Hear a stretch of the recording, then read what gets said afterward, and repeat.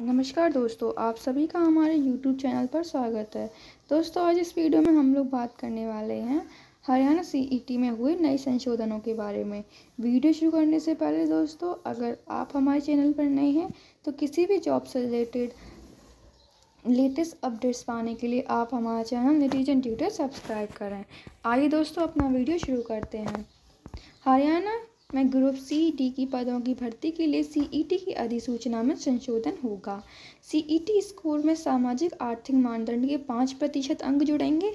SSC की परीक्षा में सामाजिक आर्थिक मानदंड के ढाई प्रतिशत अंक जुड़ेंगे।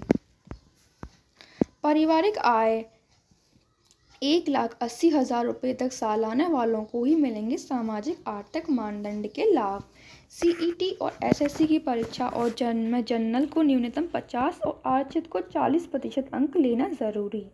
सीईटी की वैधता तीन साल होगी स्कोर बढ़ा सकेंगे। अगर बढ़ा तो अगले तीन साल के लिए वैध होगा।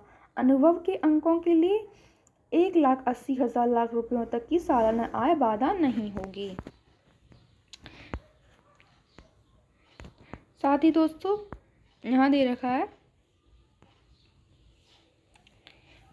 सामाजिक आर्थिक मानदंड के लिए ये हैं शर्तें। परिवार के उद्देश्य के लिए परि, परिभाषा। पुरुष उम्मीदवार स्वयं पिता माता पत्नी अविवाहित भाई और पुत्र।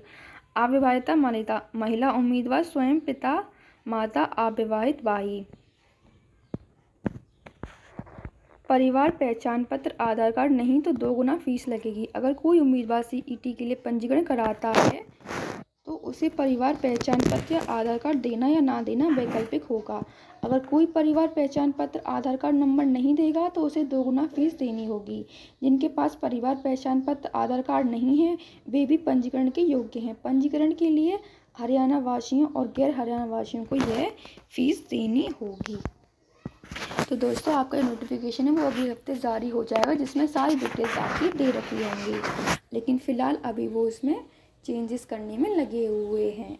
तो दोस्तों, इस वीडियो में यही अपडेट आपको देनी थी। इन्फॉर्मेशन पसंद आई हो तो वीडियो को लाइक करें।